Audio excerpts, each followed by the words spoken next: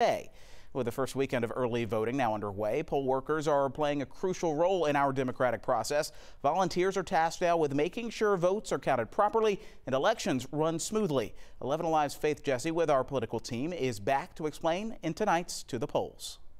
Georgia's Secretary of State's office is fighting for fair and transparent elections, and that includes keeping a careful eye on what happens at the polls.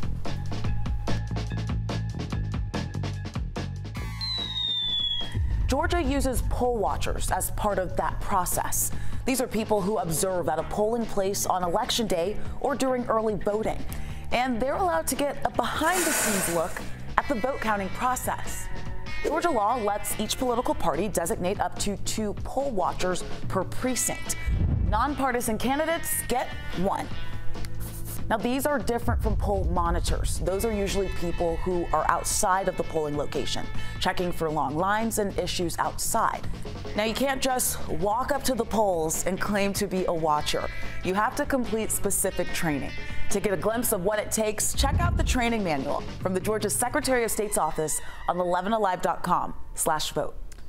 And the final day for early voting here in Georgia is Friday, November 1st. For more info about the November election, from races on your ballots to polling locations, all you have to do is text the word vote to the number on your screen. That's 404 885 7600. We'll then send you a list of resources right to your phone to help you prepare for the polls.